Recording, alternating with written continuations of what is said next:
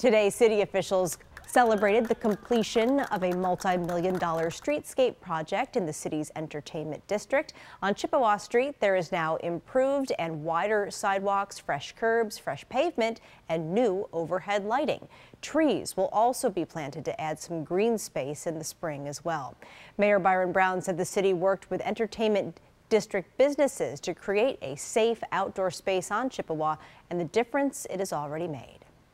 We've seen how successful that has been uh, with the Buffalo Bills block parties. Uh, people are excited to gather in downtown Buffalo, and they are already enjoying these great upgrades that we are unveiling today.